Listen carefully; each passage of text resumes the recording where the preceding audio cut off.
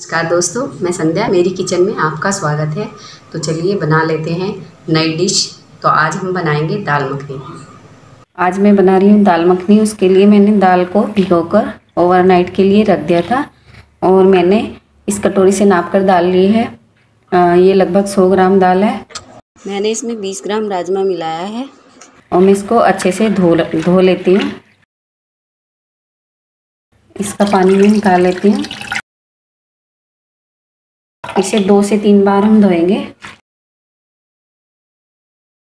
और मैं इसके इसको कुकर में उबलने के लिए रख देती हूँ। फूल करके ये डबल हो जाती है। और इसमें मैं एक जितना मे, मेरी ये दाल है उसे भर करके मैं इसमें डाल लेती हूँ। पानी इसमें बहुत सारा डलता है बाद में भी डलेगा। अभी मैं इतने ही पानी में डालकर इसको उबाल रही हूँ।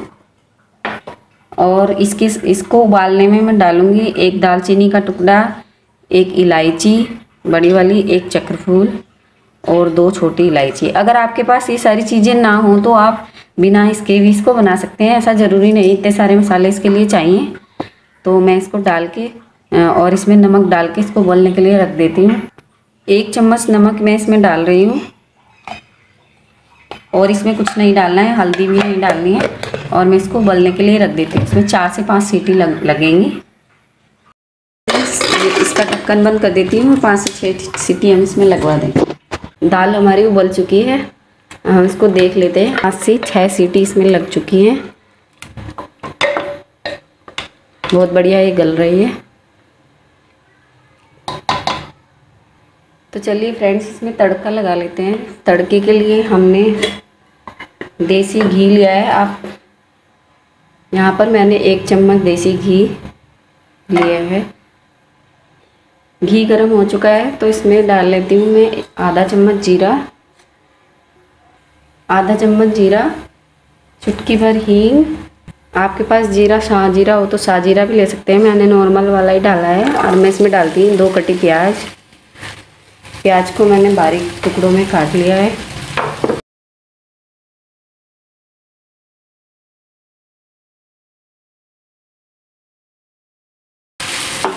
प्याज को हम अच्छे से भूनेंगे। प्याज को मैंने एक मिनट भून लिया है और मैं इसमें लद, अदरक और लहसुन का पेस्ट डाल लेती हूँ। एक चम्मच। और इसको भी भून लेते हैं। इन दोनों को हम ब्राउन करने तक भूनेंगे। प्याज ब्राउन हो चुकी हैं। प्याज ब्राउन हो चुकी है तो मैं इसमें टमाटो प्यूरी डाल देती हूँ। मैंने टमाटर को उबाल के पीस लिया है। दो से तीन टमाटर मैंने यूज़ किए हैं और इसको मिक्स कर लेते हैं।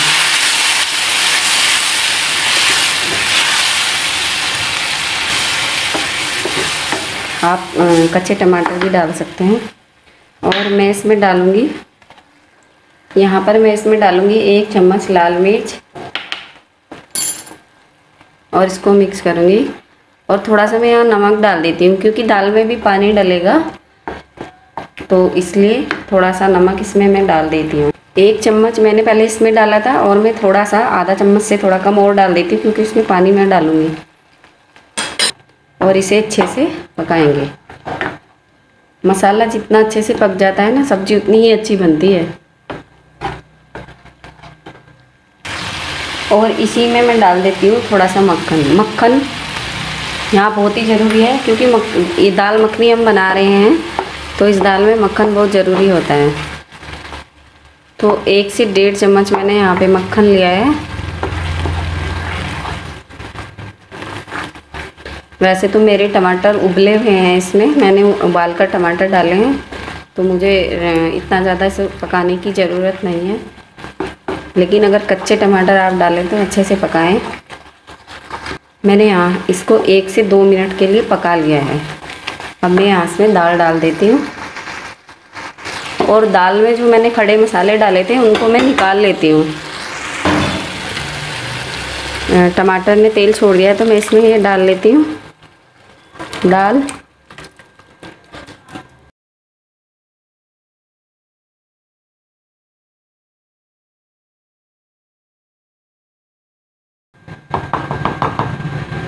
तो पैन मेरा छोटा है तो मैं इसे वापस से कुकर में ही पलट लूँगी थोड़ा सा पकाने के बाद।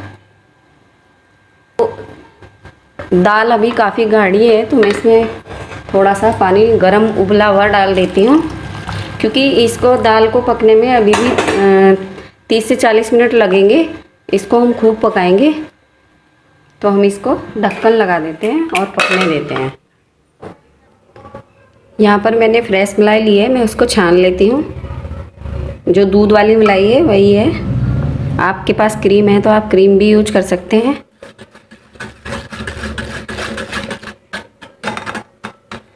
मलाई को छानकर मैं एक क्रीम का ही डो देने क्रीम की तरह ही बना रही हूँ। मोटी मोटी मलाई ऊपर रह जाएगी और नीचे जो पतला बेस है, वो निकल जाएगा तो जैसा हमारी क्रीम होती है, ऐसी बन जाएगी। अब दाल मखनी बना रहे हैं तो क्रीम की ज़रूरत तो ज़रूर पड़ेगी। अगर बाज़ार जैसी, हलवाई जैसी बनाना चाहते हैं तो मक्खन और क्रीम दोनों की ज़रूरत होगी। ये मैंने इसको छान लिया है, और ये देखिए, हमें बिल्कुल क्रीम जैसा जो बेस है, वो मिल गया है। तो हम देख लेते हैं। अभी दाल पक रही है। अच्छे से इसको पकने देते हैं। घुलने तक हम इसको पकाएँगे।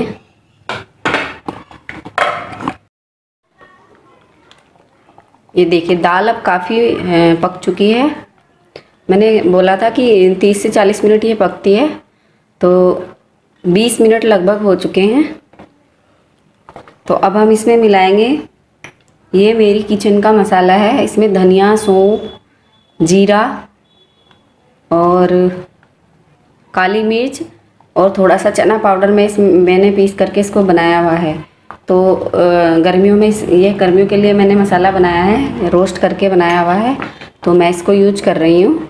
आप चाहे तो थोड़ा सा गरम मसाला इसमें डाल सकते हैं। मुझे गरम मसाले की ज़रूरत नहीं है क्योंकि मैंने इसमें गरम मसाले उबालने में डाल दिए थे। और मैं इसमें डाल लेती हूँ क्रीम जो मैंने एक कटोरी क्रीम को मैंने छान करके ले लिया था, वो मैं इसमें डाल लेती हूँ। थोड़ी सी बचा लेती हूँ मैं। सर्व करने के लिए बात बात के लिए। और इसको मिक्स कर देते हैं अच्छे से। अब 10 मिनट इसे हम और पकाएँगे।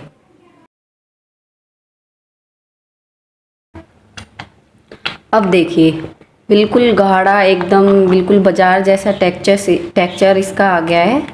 एकदम बिल्कुल वैसी ही लग रही है जैसी हम बाज़ार से लाते हैं। अब हम इसको थोड़ा सा और पका लेते हैं। यहाँ पर मैं ले लेती हूँ मक्खन। और मक्खन को थोड़ा सा गर्म होने देते हैं। बहुत ज़्यादा हम इसे गर्म नहीं करेंगे। हल्का सा इसको मेल्ट करेंगे। और इसमें डालेंगे एक चम्मच कलर वाली मिर्च। और थोड़ा सा डालेंगे कसूरी मेथी। और इसको अब हम डालेंगे, दाल में तड़का लगाएँगे। और मैं इसको दाल में डाल देती हूँ। और थोड़ा सा मैं इसमें हरा धनिया डाल देती हूँ। अब हमारी दाल पक करके तैयार है। हम गैस बंद कर देते हैं और इसको सर्व कर लेते हैं। तो मैं दाल को सर्व कर देती हूँ।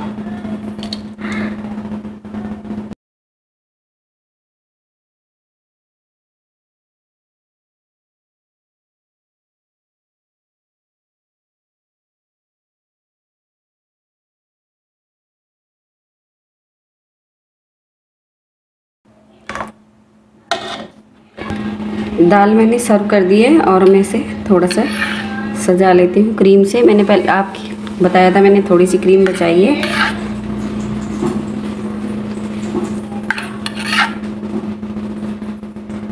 मैं डाल देती हूँ थोड़ा सा मक्खन सजाने के लिए।